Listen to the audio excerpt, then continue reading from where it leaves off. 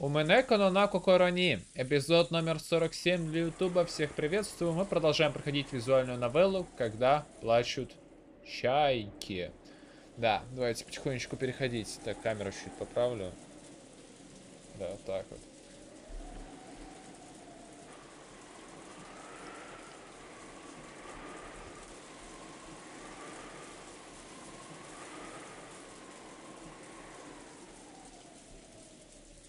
Мы вернулись в гостиную. Я испытывал легкое беспокойство, когда мы ушли.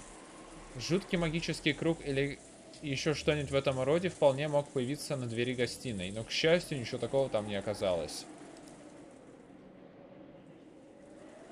ありがとう源氏さんここまでで結構よあなたも今日は休んでくださいかしこまりましたこれで休ませていただきます おい、ロザおばさん。この状況下で、源氏さんをたった一人で過ごさせるっていうのかよ。そうね。とても危険なことだと思うわ。でも、ならなぜ彼は無事なの？彼は3人が夏日姉さんの部屋へ向かった後、ずっと一人でいた。なのに無事だった。狼と羊のパズルよ。最も弱い立場となる孤立した羊が無事な理由は何 Ну что, она одна? Возможно. Не было смысла. 狼がたまたまいなかったんだろ違うわそれが羊じゃなかったからよ源氏さんがお彼は一人で厨房にいたそうだけどそれは証明不能よ南條先生たちの死体を運んだりジョージ君たちを殺したりできたのは 彼かベアトリーチェだけなのよ Ну, не знаю, но ведь э, цикады, по-моему, были очень популярны в свое время. Так что, в принципе, франшиза-то вся эта довольно-таки известная. Просто уже довольно-таки старая. ま待てよその論法じゃ誰だって Чего, чего еще раз?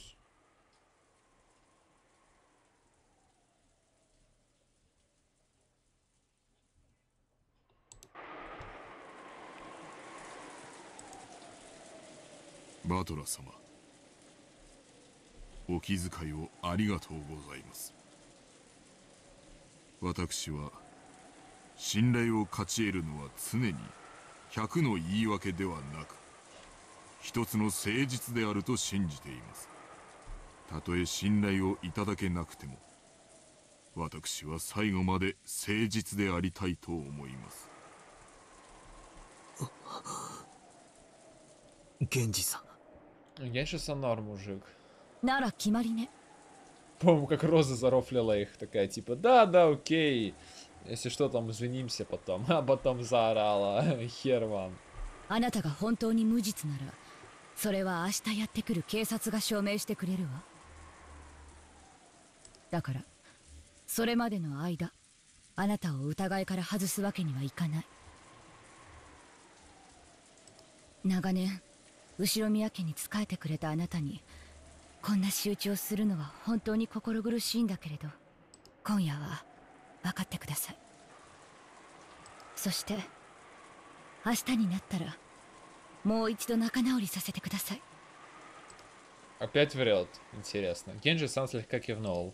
今日も明日も私は後宮家の使用人であり続けますご用がありましたら いつでもお申し付けくださいそれでは失礼させていただきます К сказанному им больше нечего было добавить. Генджи-сан низко поклонился и вышел в коридор.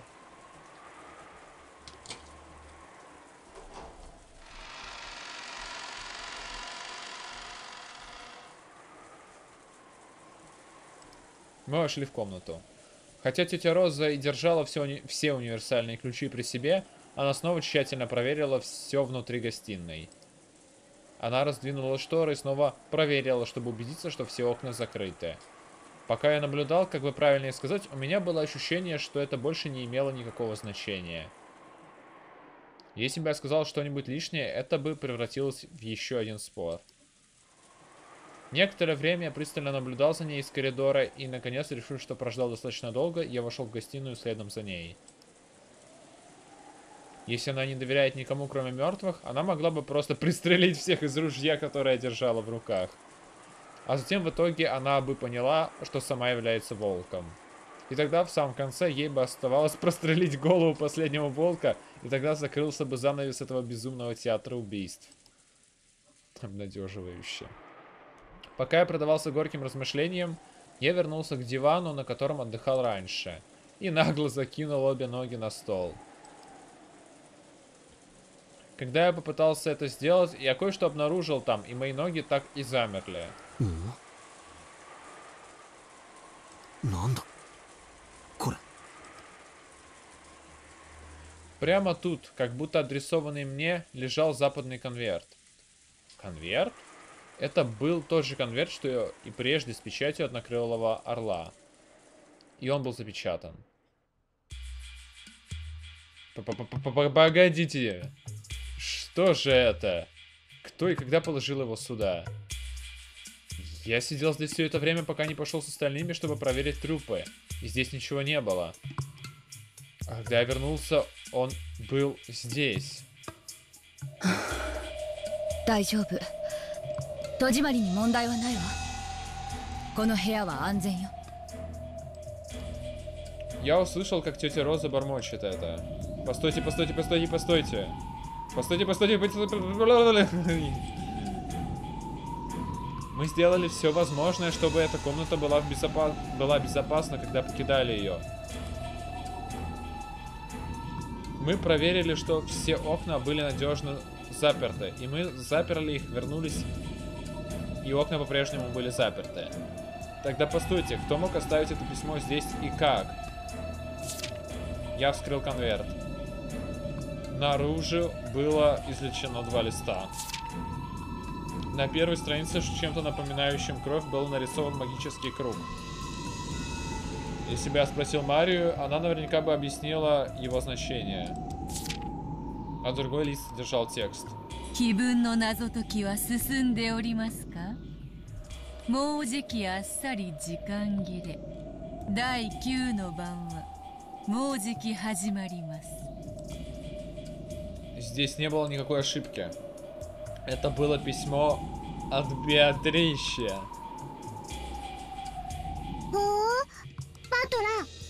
あああ今ここに来たらうん置いてあったどうしたのマリアバ トラ君その手紙はいいやそのここに置いてあったんだどうしてだよこの部屋はちゃんと戸締まりをしていたのにどうしてだよどうしてマリアいらっしゃい Лол, ща его выгонят. Тетя Роза прикрыла глаза, а затем, молча кое-что обдумав, подозвала Марию. Мария подчинилась словам матери. Как только она это сделала, случилось нечто невероятное. Ну да. Тетя Роза навела ружье на меня. バトラ君あなたを狼だと断定するわ Че тупая, что ли? どどうして私はこの部屋にたった今帰ってきてそのテーブルの上に何もないことを見ているわそしてマリアがそのテーブルに近づいていないことも知っているわ ずかな時間よでもこのテーブルに近づきそして手紙を見つけたと主張するのはあなただけなのよ Найс доказательства. そんなのっていやめめちゃくちゃだなんで俺がこんなものを置くんだよおいおい俺は不審なものを見つけて報告しただけだぜなんで俺が疑われるんだよあなたにしか その手紙をそこへ置けないからよそうこれは自作自演あなたが懐から封筒を取り出したった今見つけたかのように振る舞った И зачем ему это делать было? Логику! Hello! 密室の中に魔女が入って手紙を置いていった幻想を作り出すためにね И что бы это ему дало? バカ野郎 またそういう考えなのかよ。そんなことで俺まで疑うのかよ。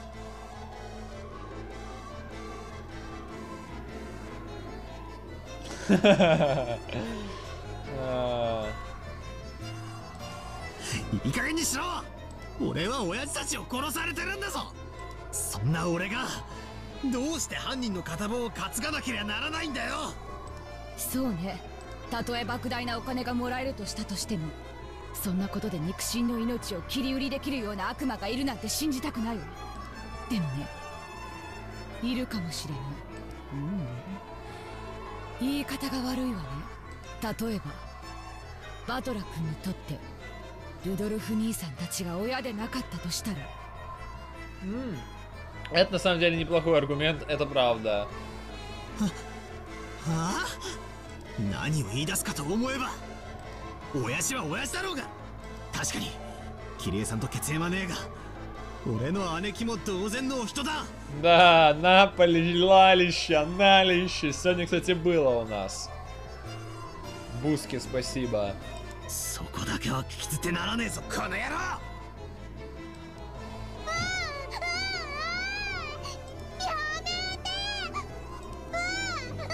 А, а. うーう言うのをやめなさいごめんなさい言い方が悪かったわね確かに後宮バトラ君はルドルフ兄さんの子供かもしれないでもあなた本当にルドルフ兄さんの息子のバトラ君なの Чего?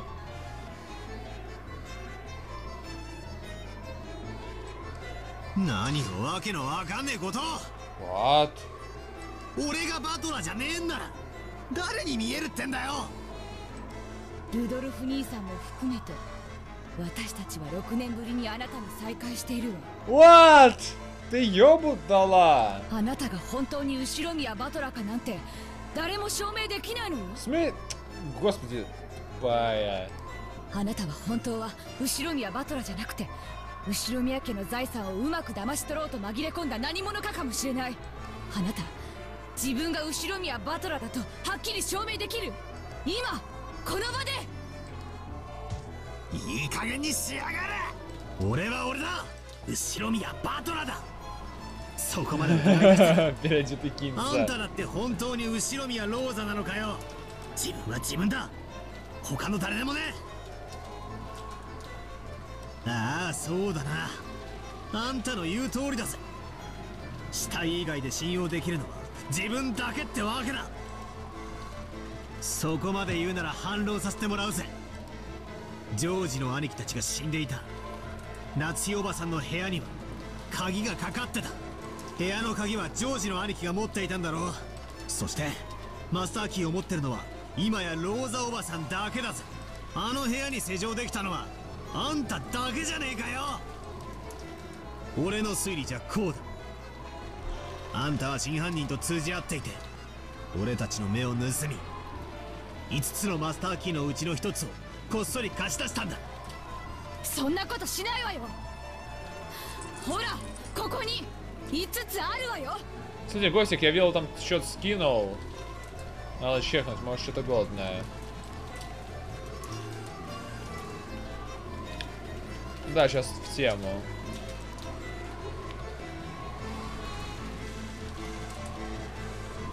Ха, Найс, конечно, лицо.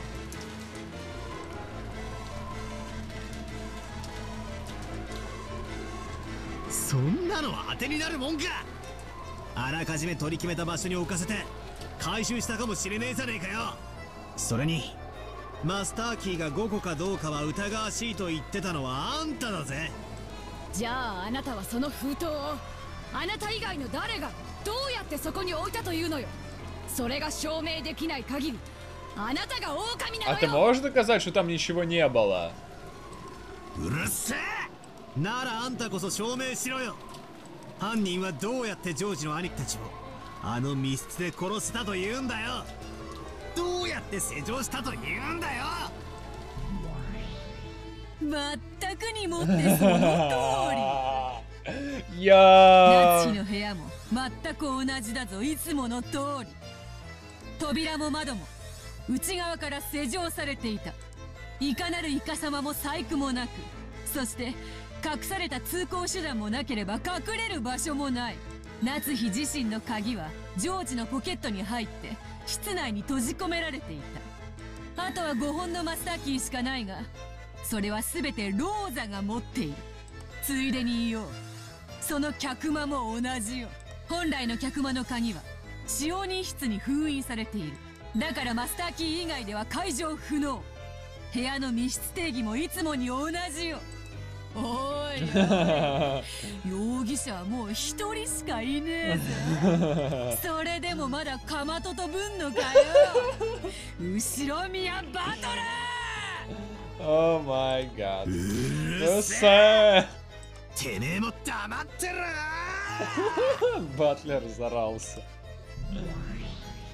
黙るのはあなたの方でしょうあなた以外にどうやってその手紙を置けたというのそれが証明できない限りあなたは狼なのよ俺が疑えるってんならあんただって疑えるぜあんたこそ証明してみろ最初に部屋に入って戸締まりの確認だのを始めたのは ローザおばさんじゃねえかよ。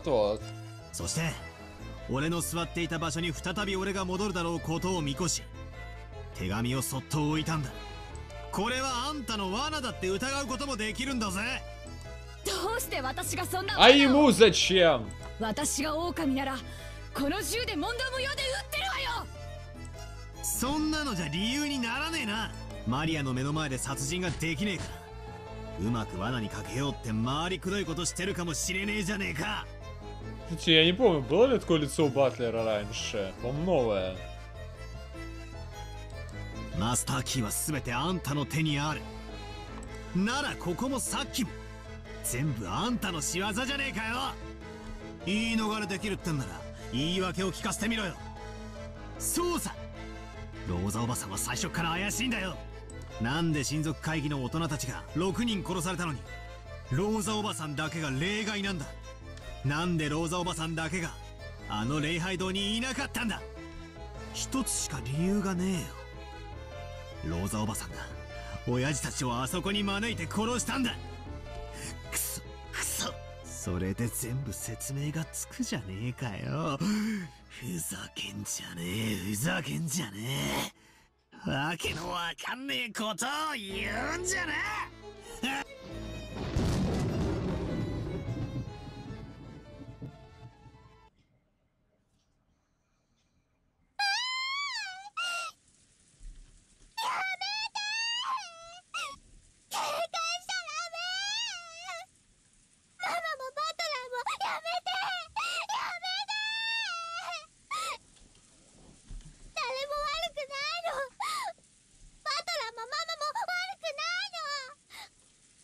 А Роза, походу, забыла про магию, которую она видела. Кстати, да. Она же видела конфету и так далее. Правда, она тогда подумала, что это фокус.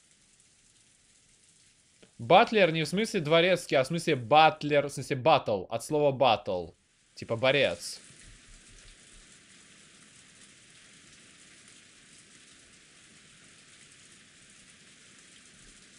Кстати, Роза была на собрании в церкви. Да, я не помню.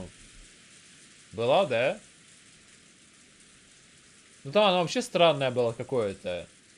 Там супер странно все это выглядело. Как будто не вне реальности.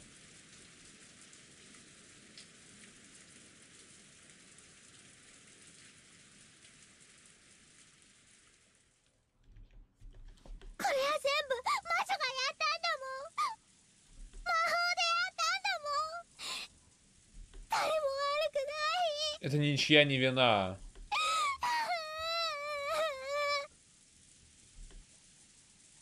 Мария сама встала между мной и тетей Розой, когда кровь ударила нам в головы. Я опешил от крика Марии и пришел в чувство. Сейчас и вел себя очень постыдно. Кстати, если ты не знаешь, Кулер ее Хань... Ну, то есть, короче, Ханю, которую озвучивал, да, она же и Марию озвучивает. Поэтому очень круто, что и там, и там персонаж переключается между двумя формами.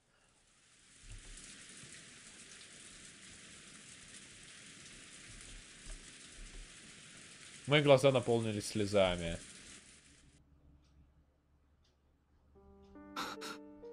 そうなんだよ全部魔女のせいだったんじゃないかよ Ну, странно, обычно ц- цикады ж первые, типа. Я думал, знаешь.「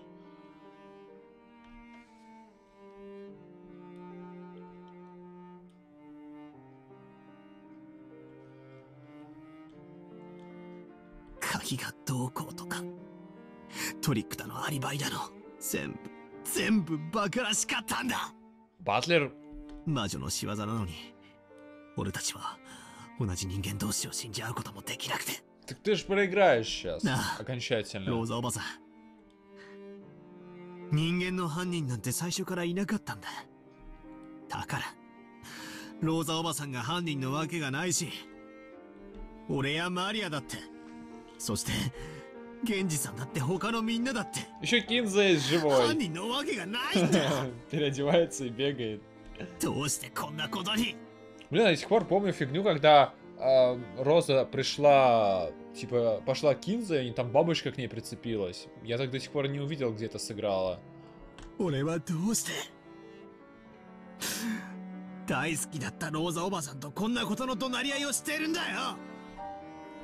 Тайски 大好きだったおばさんとどうしてこんな罵り合いをしてるんだよなんでなんでみんなで疑い合わなくちゃならねえんだよおばさんを疑ってなんかいないんだ誰も疑ってなんかないんだ全部魔女の仕業だったんだ。ベアトリーチェの仕業だったんだ。全部、全部、ベアトリーチェが魔法で行った事件だったんだ。ベアトリーチェЩа, Ну, гра. ща покажется, блин. ここに現れてくれよ。そして、自分が全てやったと、俺たちに告白してくれよ。もうごめんだ。こんな疑り合いはごめんなんだ。 Мгм, Найс рофлишь. だから俺たちを許してくれ。解放してくれ。互いの死を見届け合うまで疑り合わなきゃならない地獄から解放してくれ俺に優しい親戚たちを、 いとこたちを、返してくれよもう嫌だ嫌だ全部嫌だお前は確かに実在するお前の勝ちだ Это звучит как ГГ. 姿を見せてくれよ А, Беатриче! Беатриче! Беатриче!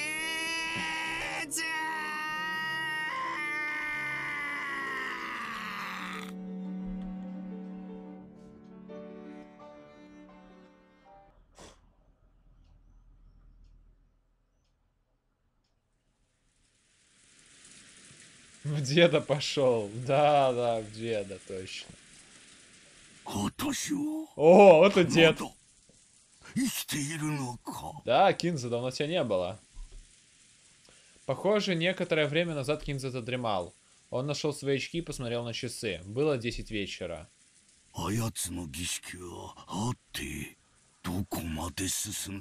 А 時間的にはもうだいぶ進んでいなくてはならぬ頃だ Кинза поднял с кресла свое тяжелое тело и приблизился к портрету ведьмы, который он пристально разглядывал каждый день.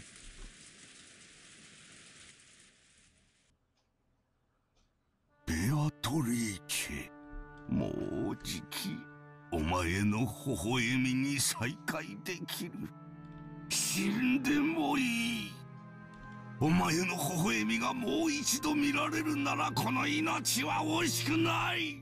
だから交渉だ。お前にもう一度会わせてくれ。そして愛を誓わせておくれ。私の罪を謝らせておくれ。ああだが逃がさん。お前は私のものだ。髪の毛の一本からつま先まで爪の赤すらも私のものなのだ Вот это жестко. お前の肉一片までも全て私のものでその亡骸の煮汁まで私のものなのだ Это уже звучит супер стрёмно, держу в курсе.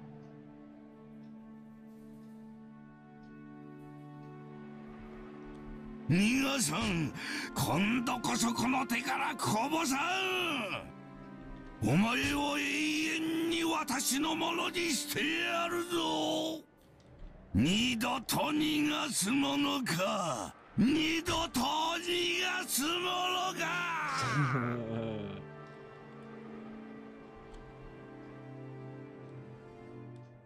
Кинза взвыл в гневе, а затем, внезапно упав на колени, он затрясся и зацарапал стену. Тут же он разрыдался. Совсем дедулька поплыл. 私が言いたいのはこんなことじゃないんだベアトリーチェ頼むもう一度会わせてくれ謝らせてくれるだけでいい Приоторите! Ты там определись.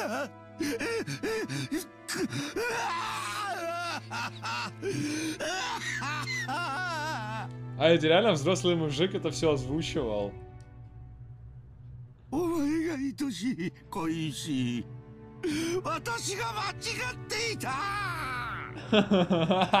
Реакция на Руби. お前が微笑んでさえくれれば他には何もいらなかったんだ。私が間違えた。私がそれを間違えて取り返しのつかないことをしてしまった。その償いに残りの全ての人生を捧げた。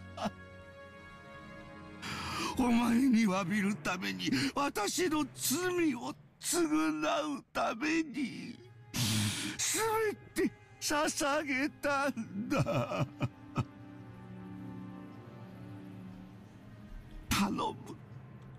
私の死の際でもいい。せめてお前に。あ謝らせてベアトリーチェうんうんああ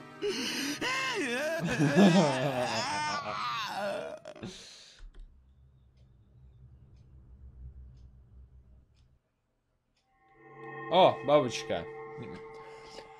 Вот, оно, это оно, да, наверное, та самая, которая к роте прицепилась.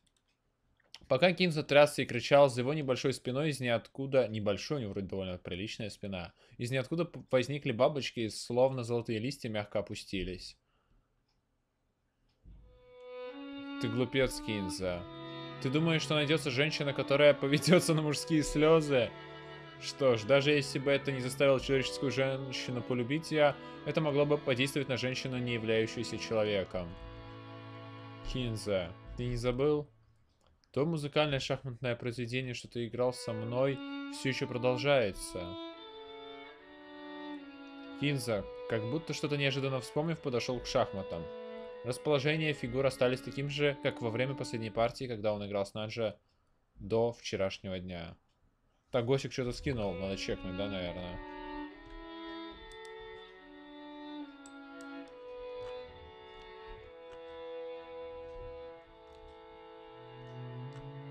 Это так.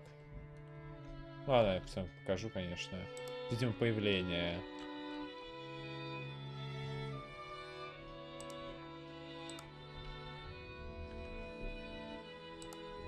После этого, очистив шахматную доску от всех фигур, он начал выстраивать их в линию одну за другой. Это была подготовка к текущей игре.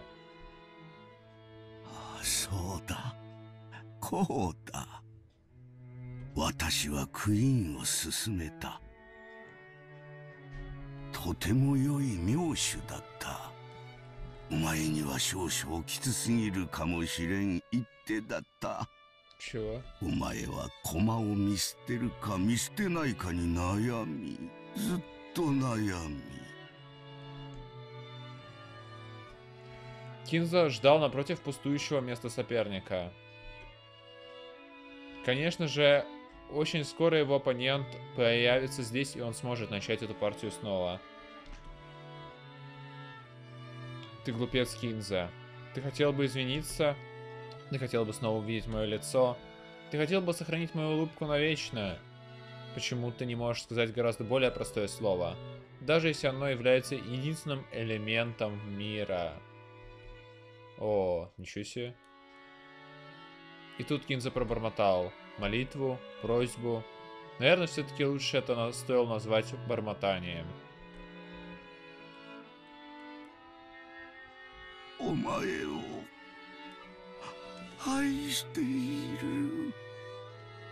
Опа.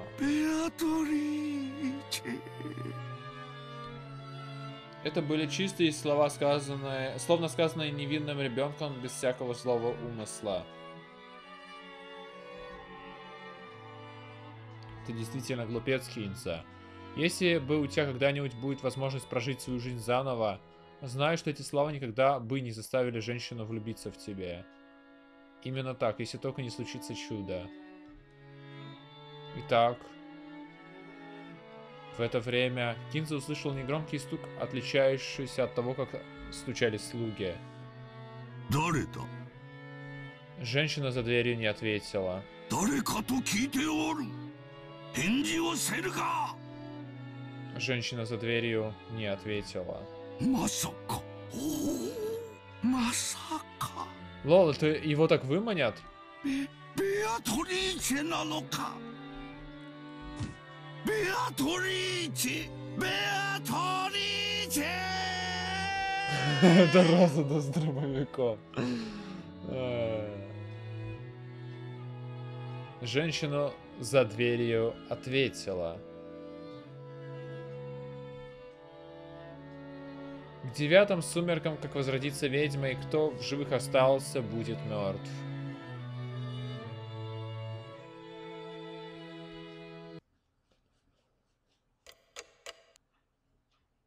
В смысле 5? 4? А, сама аж Беатрича, типа, еще живая, точно. Точно. Да, я просто, ну, как бы, я именно из семьи, типа, 4.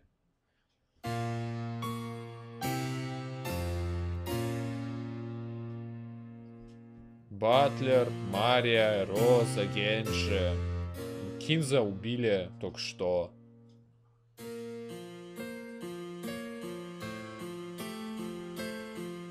Фигура Батлера виднелась в обеденном зале. Ему не хотелось возвращаться в домик для гостей под таким дождем. Он вяло слонялся по особняку в поисках места, где он мог бы расположиться и в конце концов превратил обеденный зал в свою крепость.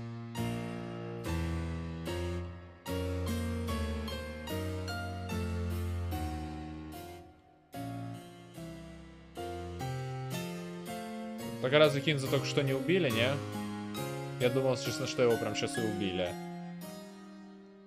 Ну да, в этом смысле ты прав, Килла. Он даже не заперся. Он думал, что, возможно, теперь, когда он отделился от всех, бесформенные убийцы или золотая ведьма придут, чтобы убить его. Но он больше не думал о противостоянии преступнику. Напротив, у него не возникало даже желания воспользоваться замком, чтобы удержать преступника. Он хотел, чтобы тот человек пришел к нему открыто, лицом к лицу.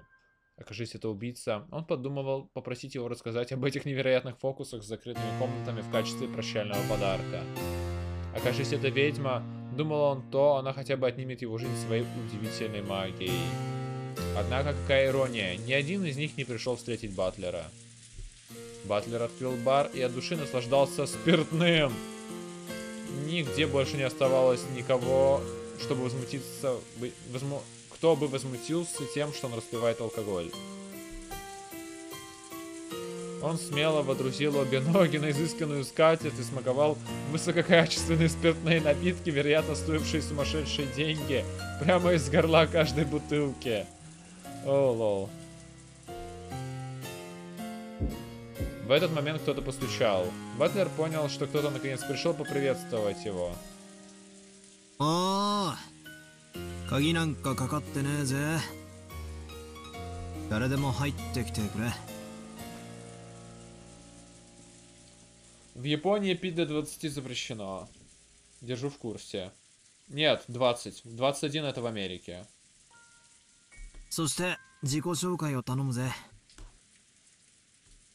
人間なら名前を名乗ってくれベアトリーチェだってんならスリーサイズを教えてくれ Nice, Рофлиш.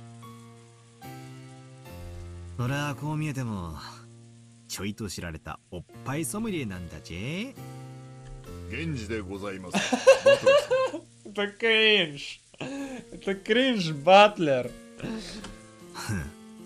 源氏さんか悪いがあんたのバストのサイズに興味はねえな入ってくれよ空いてるぜ失礼いたします Генджи-сан открыл дверь и поклонился. Стоило... Стало быть, Генджи-сан все-таки был преступником? Или, может быть, сообщником? Эта теория, возможно, объяснила бы большую часть хитростей. あんたが俺に引導を渡しに来たのかいそのようなことはございませんお邪魔なようでしたら失礼いたしますおいおい要件も伝えず失礼しますじゃかえって気持ち悪いぜ何の用だよ Если что, Батлер бухой, напоминаю.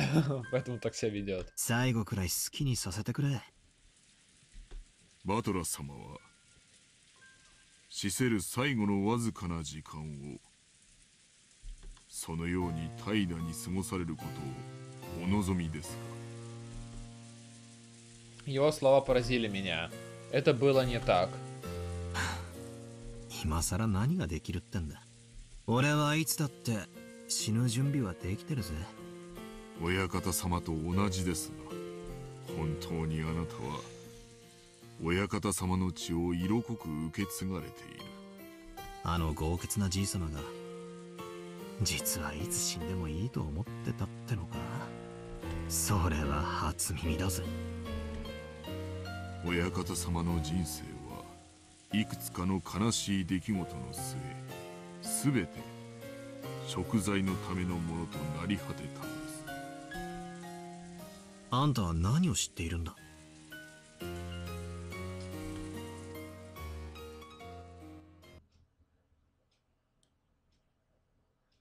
トリーチェ様の儀式も第八の晩までを全て終えました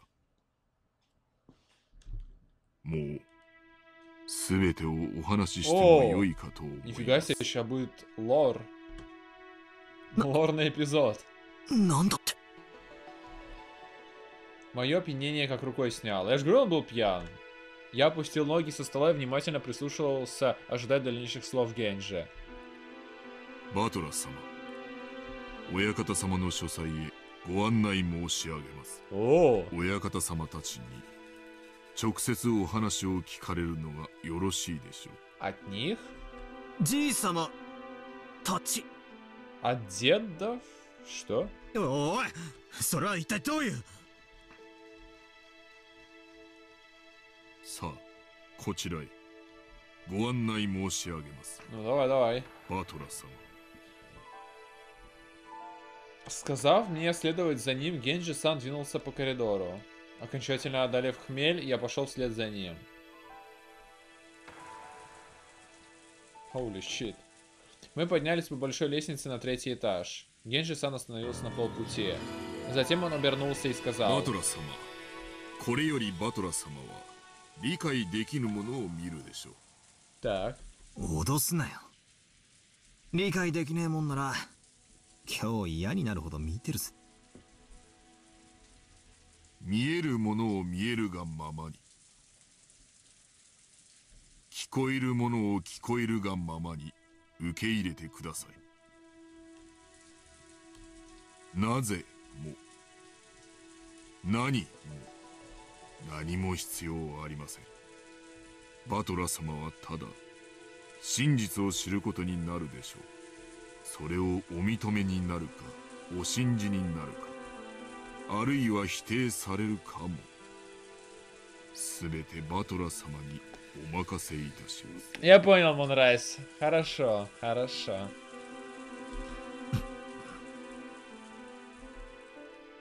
Генджи Сан последний раз проверил, готов ли я узнать правду. Восьмые сумерки уже закончились. К девятым сумеркам же возродится ведьма, и кто в живых остался, будет мертв. Это означало, что Беатрича уже возродилась. И, наверное, никому из нас не позволят выжить и вернуться. Если я все равно расстанусь с жизнью, под конец я бы хотел узнать правду. Как бы не было, трудно принять ее. ああ鬼が出ようと魔女が出ようと覚悟はできてるぜ本当にあなたは 親方様の若き頃にそっくりだ。バトラ様どうかご勉学にお励みを。あなたは将来必ずや大きな志を持たれるでしょう。そしてその時足りぬ学力に一生後悔されることがありませんよ勉学に勤しめる機会がもらえるならぜひな Казалось, молчание Генджи Сана вынуждало меня поглубже поразмыслить над своим решением.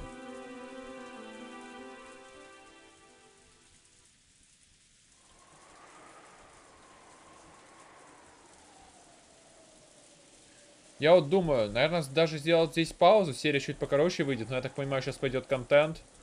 И поэтому я лучше здесь закончу этот эпизод. Да, это будет, мне кажется, хорошее решение. Что ж, мы подобрались к определенной точке. Очень жду, что будет дальше. С этим эпизодом мы пока прощаемся. Конец записи.